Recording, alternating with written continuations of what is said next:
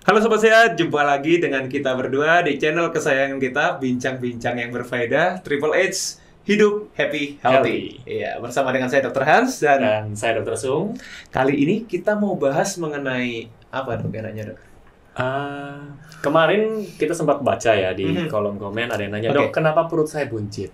Kenapa perut saya buncit? Oke, jadi, Jadi- kita kali ini mau bahas mengenai penyebab perut buncit Boleh, itu bagus. dan solusinya tentunya. Oke. Kalau dikasih penyebabnya doang kan ya garing kan nanti gitu. Jadi penyebab dan solusinya. Oke, Sip, buat yang tertarik simak videonya. Setelah yang satu ini. Susah mengontrol berat badan? Bantu kontrol berat badan Anda dengan 2 saset raw meal per hari. Dapatkan produk originalnya hanya di boxsehat.com. Oke, well, jadi eh, mengenai perut buncit dok, ini kan Mm-mm. eh, permasalahan kalau kita bilang permasalahan sejuta umat.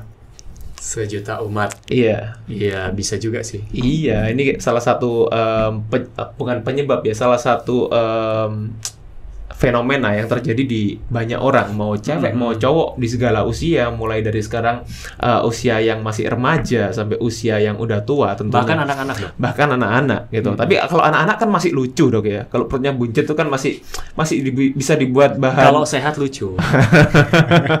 biasa Masalahnya kalau sakit itu nggak lucu. biasanya bodoh amat dok. Kalau masih kecil kan masih masih bisa Oke. jadi bahan candaan gitu. Kalau udah gede jadi bahan bulian Oh iya. gitu. Tapi ngomong-ngomong kenapa ini kita kita kali ini settingannya beda loh ya. Kita Hmm. settingannya kali ini Nggak tahu sih. kita duel nih kali ini kayaknya. Su- Sutradaranya yang atur. Ngerasa gak gimana gitu ngomongnya kita hari ini. Tapi Oke nggak apa. lah, dicoba. Iya. Jadi penyebab perut buncit nih dok ya penyebab perut buncit em, sebetulnya kalau eh, menurut saya nih ya Mm-mm. penyebabnya sih banyak. Banyak. Oke, Banyak. kita bahas satu-satu. Mulai Iya. dari dokter Hans dulu deh. Em, Oke penyebab pertama perut buncit ya em, setahu saya itu Mm. kalau kalau cewek itu ada ada kemungkinan dok masih dok ada kemungkinan, Ada yang ada kemungkinan. yang lebih besar gitu Apa itu? hamil. Tapi cowok nggak kalah biasanya gitu. Jadi, Biasanya cowok kalau udah eh, istrinya hamil, Mm-mm. biasanya suaminya ikut hamil juga. Iya. Kan Supaya ngidam, biasanya kan ngidam dok. Nah ngidam terus eh, nggak habis gitu. Cewek kan gitu. Biasanya kalau habis ngidam makanya cuma pengen eh, sedikit-sedikit ya kan, yang habisin suaminya. suaminya. Gitu. Jadi nggak cuma istrinya yang hamil, suaminya pun ikut hamil. Iya iya. Itu. Tapi beda ya kalau yang istrinya hamilnya janin, Mhm. kalau yang prianya hamilnya em, bisa potato chips, bisa tahu isi. Itu penyebab pertama. Itu penyebab Itu, pertama. ya. Solusinya dong. Solusinya, solusinya jangan hamil. Itu, itu yang kalau pertama. sudah sudah sudah terlanjur hamil gimana? Solusinya? Ya dilahirin lah, Dilahirkan. ya dilahirin, dilahirin, Bukan digugurkan ya, dilahirkan. dilahirkan. Sesuai Semoga. umurnya. Oke. Tapi itu kan karunia. Kalau Iya. hamil itu karunia. Kalau kalau diinginkan karunia dok, Emang ada yang tidak diinginkan? banyak. Oh iya juga sih. Tapi tetap harus dilahirin lah, ya. Jadi bertanggung jawab gitu. ya sebagai sebagai manusia yang eh, manusiawi gitu. Oke, kita lanjut deh penyebab yang kedua dok. Nanti ke mana-mana nih? Yang kedua. Iya, Tadi saya sempat singgung anak-anak. anak-anak ya. Nah, anak-anak ini kan kalau orang tua zaman sekarang lihat anaknya gemuk itu kan lucu. Iya. Kalau Kawan kan anak. dicubit-cubit pipinya, dicubit-cubit lemak di perutnya. Iya, perutnya. Nah, kalau dia kondisi gemuknya mungkin karena ya over kalori sih masih oke lah ya. Ah, Kalau ah. di usia anak-anak kan masih masa pertumbuhan, tapi jangan sampai over banget. Iya, iya, iya. Terus, tapi ada juga orang yang kekurangan energi protein itu Ah. perutnya buncit. Kekurangan Namanya energi. kwashiorkor. Oh, Nah, iya, iya, iya. Biasanya kalau kita lihat di negara-negara miskin, anak-anak itu uh, badannya kurus, Mhm, mhm. ya, tapi perutnya buncit. Nah, itu busung lapar tuh katanya. Ah, ini bahasa kerennya, tuh, busung bahasa kerennya, lapar. bahasa kerennya busung lapar. Tapi kayaknya kalau untuk di zaman milenial sekarang kayaknya hampir hampir hampir Kalau nihil lah kota-kota ya. besar sih hampir nggak ada ya. Hampir nggak ada Mungkin ya. Edukasinya sudah bagus, ekonominya udah bagus. Iya. Tapi negara-negara miskin mungkin masih ya banyak Iya, gini. iya, iya. Ketersediaan makan sih kalau di Indonesia sih more than enough lah ya. Mm-mm. Ya bisa bilang Tapi dibilang nggak tahu ya kalau di kota-kota kecil ya. Kayaknya udah udah oke lah Udah oke ya? Indonesia kayaknya udah distribusinya udah melebihi dari cukup Soalnya, lah. eh, waktu saya kuliah dulu sempat belajar. Gitu Berarti, ya? berarti masih ada di Indonesia. Enggak dok, itu itu itu karena kita dulu diktat kuliahnya memang ya perlu masih perlu masih perlu dibahas aja. Anda yang kuliah tapi sekarang, tapi udah nggak udah nggak relevan gitu loh sama sama kondisi di Indonesia sekarang kalau saya Anda bilang. yang Anda yang kuliah sekarang, terutama di bidang kesehatan, masih Ah. dapat nggak materi kekurangan energi protein KEP? Iya iya KIP. Nah, kalau masih dapat silakan komen di bawah. Berarti masih ada kalau kalau masih ada pelajaran itu. PPKN juga mungkin masih ada dok sampai sekarang dok. Nggak tahu. Nggak ada. Zaman saya dulu PMP, PMP. Pendidikan Moral Pancasila. Iya iya iya iya. iya. Kelihatan usia berapa? Kelihatan Oke, lanjutkan. Lanjut ya. Jadi di em, penyebab yang ketiga, penyebab Ya. yang ketiga. Jadi pertama tadi em, hamil, kedua kekurangan energi protein atau Hmm, kwashiorkor, yang kwashiorkor. ketiga ini ini yang eh, sebetulnya kalau di bidang di bidang nutrisi itu Ah. cukup sering terjadi dok, cukup sering terjadi. Ah, Jadi em, ini biasanya saya sebut eh, simpelnya itu bloating. Gitu ya Bloating bloating bloating effect. Ya bloating effect. Jadi bloating effect itu eh, penyebabnya bisa beberapa hal juga Mhm. gitu. Jadi bisa beberapa hal. Dan ini sebetulnya bukan bukan kan sering kali orang kalau ngomong eh, perutnya buncit wah gemuk nih gendut nih gitu. Mhm. sebetulnya nggak selalu seperti itu gitu loh. Jadi eh, efek yang eh, salah satunya yang paling sering terjadi itu karena bloating gitu. Jadi Bloating. perutnya ini bisa terisi gas. Ya Iya. jadi terisi gas jadi bloating itu tapi penyebabnya banyak gitu. Nah yang paling, Paling sering, itu memang uh, lactose intolerance. Oke. gitu ya Jadi mereka-mereka yang tidak tahan terhadap gulanya susu. Ya, jadi produk susu dan turunannya gitu. Hmm. Jadi laktos laktos itu kan gulanya susu gitu. Tapi nggak cuma berada di susu, eh, biasanya juga ada di keju, Dan terus di oh, iya. yogurt dan lain-lain. Nah, yang turunannya susu lah ya. Ya. Nah, jadi untuk orang-orang yang nggak tahan sama eh, laktos, kalau mereka konsumsi laktos itu biasanya pasti mereka akan jadi bloating. Gitu. ada jadi yang bloating, kembung. ada yang mencret ya. Nah, yang macam-macam efeknya Macam-macam. gitu, macam-macam efeknya. Jadi ada yang eh, tiap orang beda-beda. Kalau mereka yang sensitif, mereka yang nggak tahan, biasanya bisa bisa diare juga. sampai diare. gitu. malahan. Ya. Tapi em, efek yang cukup sering terjadi juga bloating itu. Bloating. Terus juga eh, mungkin sekarang yang lagi ngetren Mhm. itu kan eh, gluten. Gluten. Nah, Oh gluten. iya. Gluten ini juga sempat saya bahas kemarin di eh, IG saya, di Instagram saya, Mhm. jadi mengenai eh, gluten.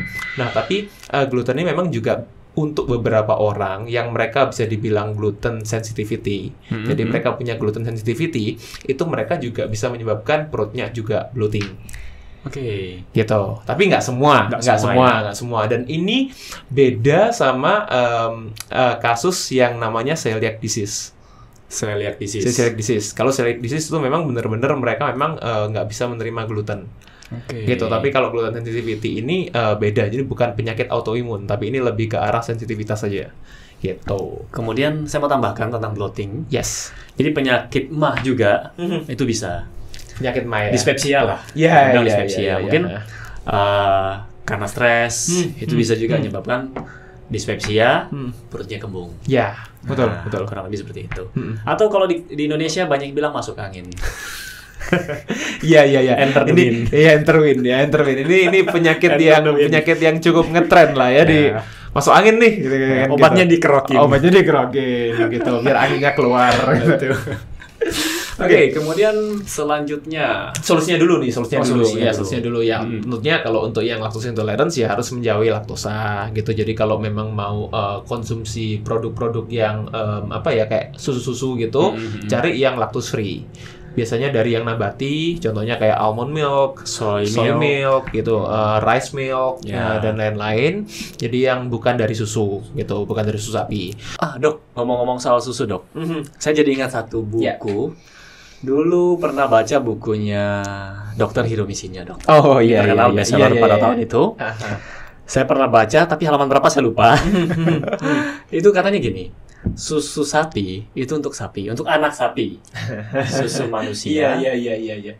Manusia itu minumnya ASI kan? Iya. Nah, tanggapan dokter Hans gimana? Dari sisi nutrisi deh. Iya iya. Jadi uh, bukunya The Miracle of Enzyme ya. Betul. Iya, itu ya, The Miracle of Enzyme ya itu ya. Um, Emang sempat ngetren sih, sempat ngetren dan saya Ya. juga sempat baca buku beliau. Mhm. Jadi mengenai penelitian beliau uh, yang spesialis um, kolon kalau nggak salah ya usus kan ya Ah, bedah Iya, gastrointestinal. gastrointestinal. Ya, betul ya.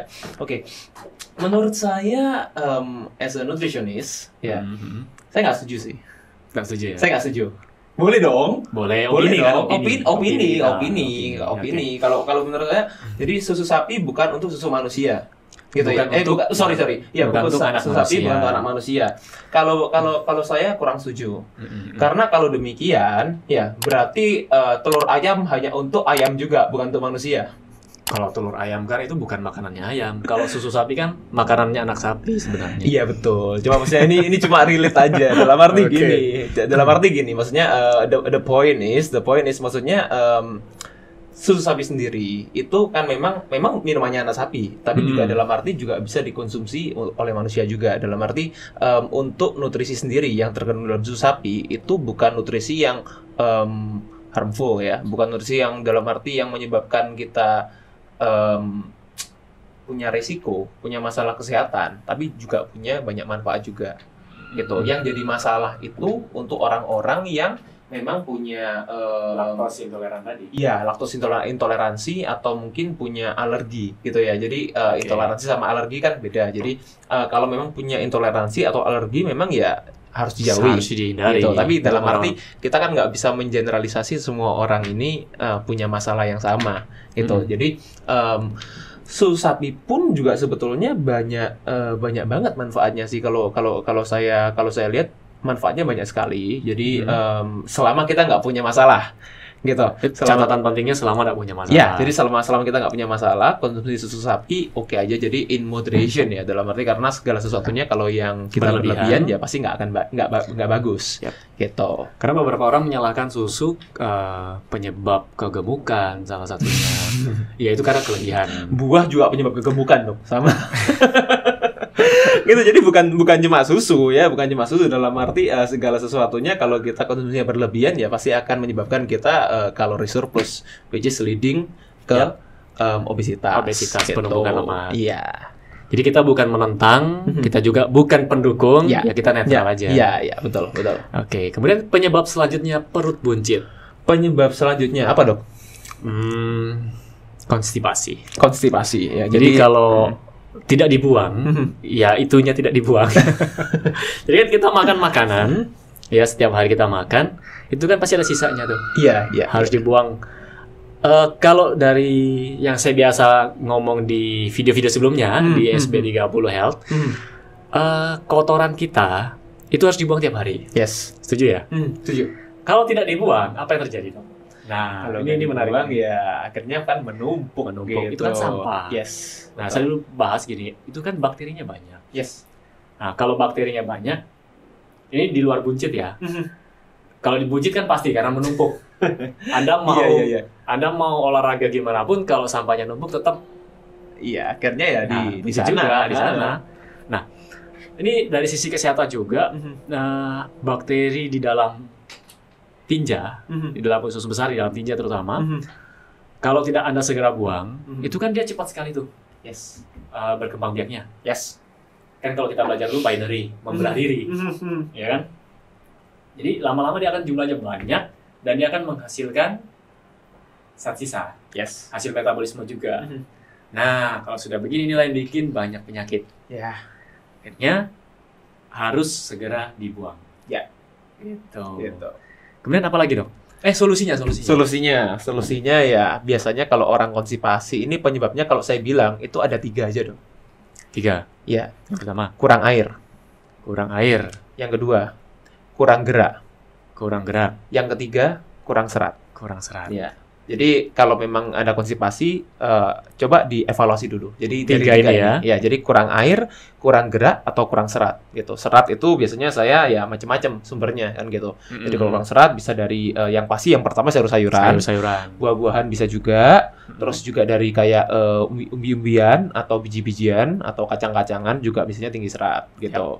Kurang air jadi penuhi kebutuhan airnya minimal 40 ml per kilogram berat badan. Mm-mm. Kalau kita memang uh, exercise exercise ada exercise atau mungkin ada aktivitas yang lebih uh, tinggi ya memang harus ditingkatkan lagi. Atau cuacanya panas banget, Yes. Anda di lapangan itu Aha. harus ditingkatkan. Betul. Karena penguapannya lebih banyak. Ya. Betul. Yes. Yang ketiga kurang gerak juga bisa. Jadi kalau memang yang biasanya eh, Mager. mager gitu ya mager eh, nggak suka olahraga ya Hmm. at least harus lebih banyak eh, aktivitas naik turun tangga kayak jalan-jalan atau gimana gitu nyapu ya nyapu mall boleh nyapu eh, Nyapu Eh, di rumah saya lagi tidak ada ART.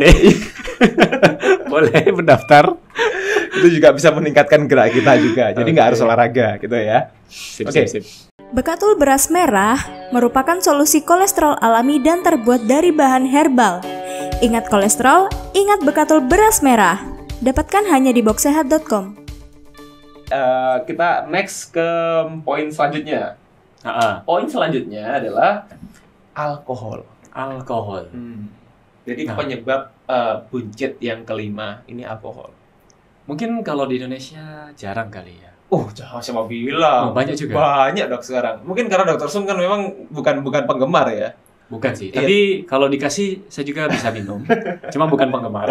ya bukan penggemar. Tapi kalau kita bilang sekarang, oh banyak banget loh dok. Sekarang dalam Hmm. arti eh, seperti apa ya lunch, bar, gitu ya, Oke. yang yang menyajikan. Justru kalau eh, dulu memang em, alkohol ini kan lebih lebih sulit yang ditemui ya. Maksudnya dalam Hmm. arti hanya tempat-tempat tertentu lah. Tapi kalau sekarang eh, kalau saya bilang hampir di semua tempat-tempat bar itu yang eh, night club dan lain-lain itu kita gampang banget sih dapetin ini. Dapetin bahkan kayak tempat karaoke pun sekarang ada beberapa yang sudah ini juga yang sudah menawarkan yang menyediakan eh, alkohol, minuman alkohol. Nah, eh, the problem is sebetulnya alkohol ini pembahasan yang cukup menarik, cukup panjang kalau kita mau bahas sendiri. Sebenarnya ada manfaatnya enggak? Ah, itu kan yang penting. Oke, manfaatnya eh, tidak ada. Ada. Buat senang-senang.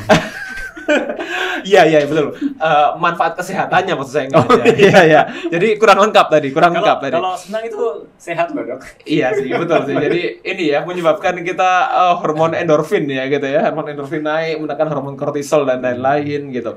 Um, it's fun sih, it's fun. Jadi eh, um, saya tidak dapat memungkiri ya. Jadi kalau memang kalau eh, kita tujuannya minum alkohol untuk sosialisasi itu memang ya fine fine aja. Fine-fine aja. Gitu. Jadi uh, as long as we drink uh, in moderation gitu. Hmm. Jadi selama kita uh, minumnya itu um, apa ya terukur, ya, Ya. terukur dan uh, dalam arti in, modera- uh, in moderation apa ya. Jadi nggak nggak nggak terlalu banyak, nggak over, sebetulnya nggak ada masalah gitu. Karena alkohol itu matersnya di mana sih? Masalahnya di mana sih sebetulnya?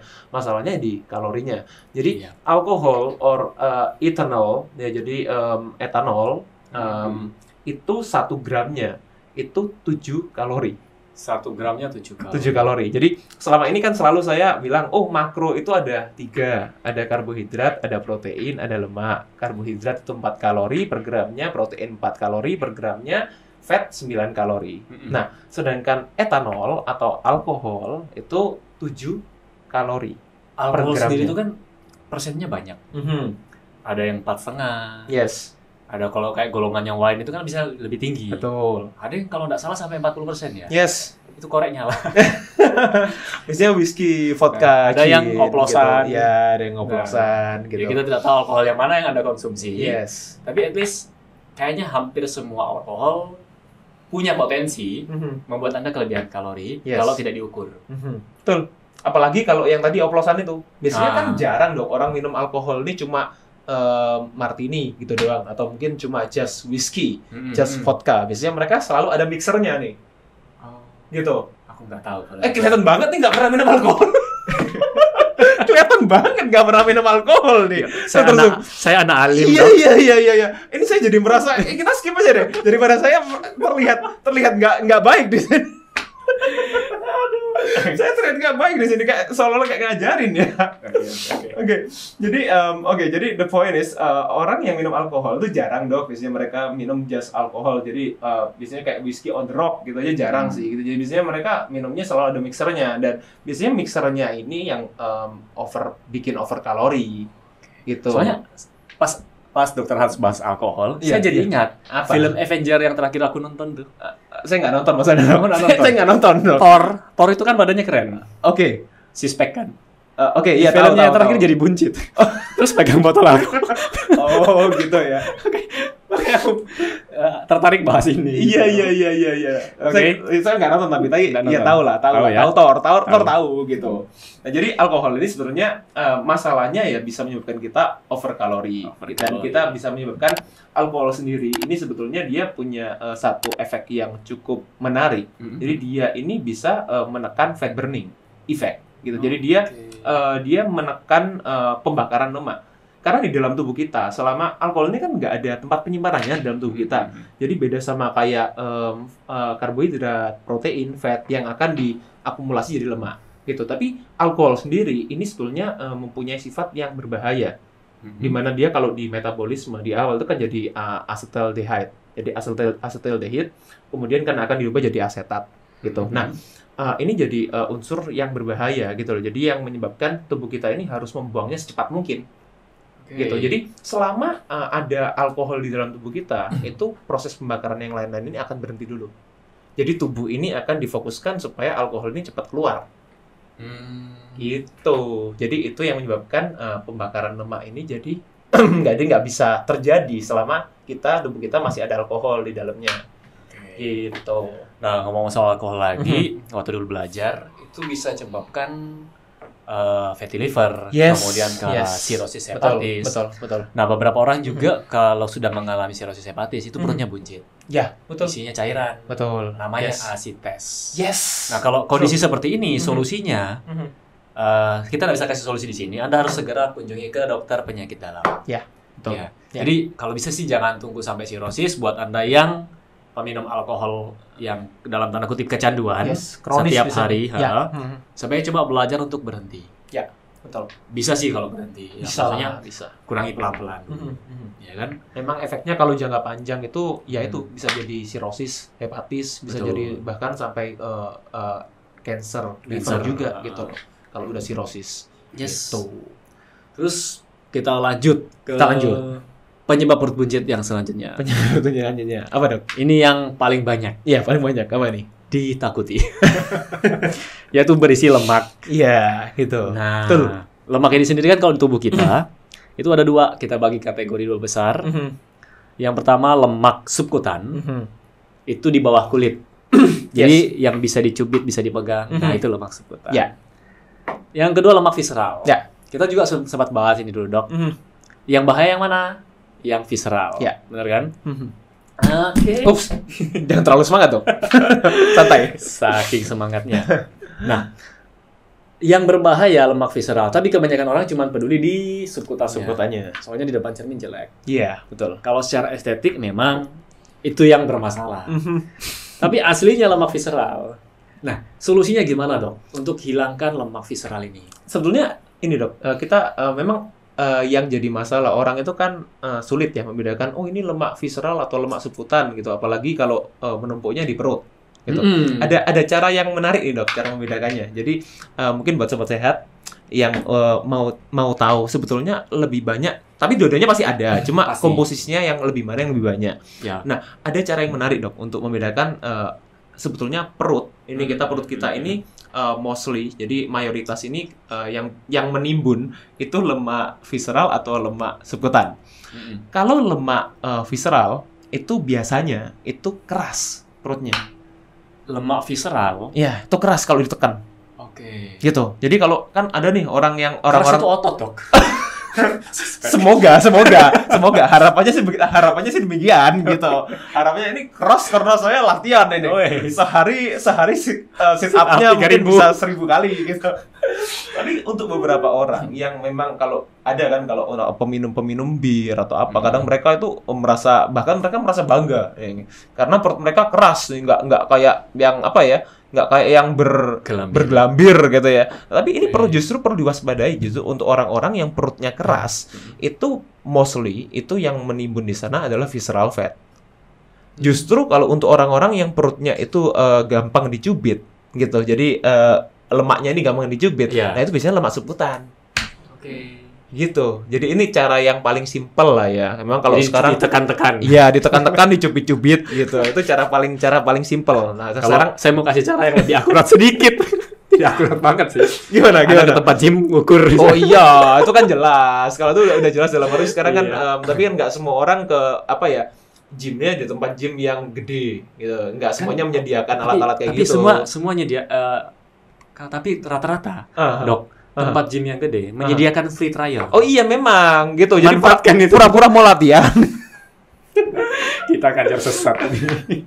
Enggak lah ya. Iya, Boleh iya. dicoba. Iya gitu. Jadi memang itu cara yang lebih uh, akurat ya untuk menentukan kita memang uh, visceral fat-nya berapa poinnya. Jadi uh, kapan-kapan saya bawakan ya. Jadi hasilnya itu jadi bisa mungkin Boleh, bisa lihat boleh. gitu ya. Jadi Punya dokter Hans ya. ya punya saya jadi bisa lihat. Jadi uh, sambil belajar jadi visceral Oke. fat ada yang uh, mereka biasanya bisa melihat total body waternya, jadi Hmm, uh, kandungan air dalam tubuhnya. BMI-nya, body fat-nya dan lain-lain gitu. Oke.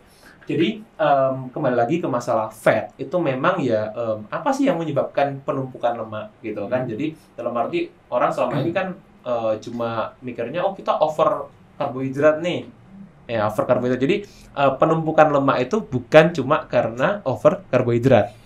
Bahkan kalau kita over protein pun Akan dirubah akan jadi dirubah jadi lemak, juga Betul. gitu. Jadi eh, segala macam penumpukan lemak itu terjadi karena kita over kalori Yes. gitu bukan cuma over uh, gula atau kebanyakan makan nasi, kebanyakan makan donat gitu. Jadi segala sesuatu pun kalau kita makan ayam bakar, ayam panggang kebanyakan, makan kita makan ikan ikan tim kebanyakan juga sama gitu juga. Jadi semuanya akan dirubah jadi fat, Fat. kalau over gitu. Betul, betul, betul. Oke. Oke. Jadi itu tadi berapa Hmm. tadi penyebabnya ya? 6. 6. Yes. Kita Hmm. review ulang ya. Ya, kita review ulang. Yang pertama, Hamil. Hamil. Hamil. Itu Oke. tapi hanya berlaku untuk cewek sekali lagi ya. Jangan cowok bilang hamil. Itu yang pertama. Yang, Yang kedua, eh, karena kekurangan, kekurangan energi protein. energi protein. Nah, kwashiorkor ini pada anak-anak. Yes, Ya, betul. kekurangan Kesulitan. gizi lah. Hmm. Terus yang ketiga, Yang ketiga tadi eh, bloating. bloating. Bloating itu penyebabnya banyak. Jadi eh, kita yang mengenali sendiri penyebab kita bloating. Kalau misalnya kita bloating itu kita karena habis makan apa, Mm-mm. habis konsumsi apa. Beberapa orang eh, eh, mungkin konsumsi susu nggak apa-apa, beberapa orang konsumsi susu atau produk turunannya bisa bisa bloating. bloating. Jadi kita harus eh, mengenali diri kita sendiri. Gitu. Yang keempat itu konstipasi. konstipasi atau eh, susah BAB Susah gitu ya. Jadi ya. konstipasi itu em, sembelit kita Hmm. sembelit atau susah BAB tentunya bikin perut kita buncit karena ya nggak bisa keluar gitu. Jadi perut kita full gitu ya. Full. Full isinya kotoran. Yep. gitu. Yang kelima alkohol. Alkohol. Ya, alkohol itu bisa karena penyebabnya bisa karena over kalori atau bisa penyebabnya karena eh, juga penyakit fatty liver. Sakit yang ditimbulkan karena konsumsi alkohol berkepanjangan. Yes, gitu. Nah, Dan yang terakhir tentunya karena akumulasi lemak. lemak, Akumulasi, lemak gitu yang disebabkan karena ya over kalori. Gitu. Tuh. Oke sobat sehat, Eh, diskusi kita pada kesempatan kali ini seputar perut buncit Yes. cukup sampai di sini. Mhm. Buat anda yang punya pertanyaan, silakan ketik di kolom komen. Belum komen. Nanti kita bahas. Ya, jadi buat Anda yang mungkin punya masalah perut buncit yang di luar yang kita bahas, silakan boleh mungkin di-sharing. ada referensi lain. Mm, silakan komen di bawah. Silakan di bawah sharing-sharing jadi biar juga bermanfaat buat uh, pendengar yang lain. Gitu. Oke, sekian video dari kita. Buat yang suka silahkan di like, subscribe dan di share. Be happy. Stay healthy. See you. See you.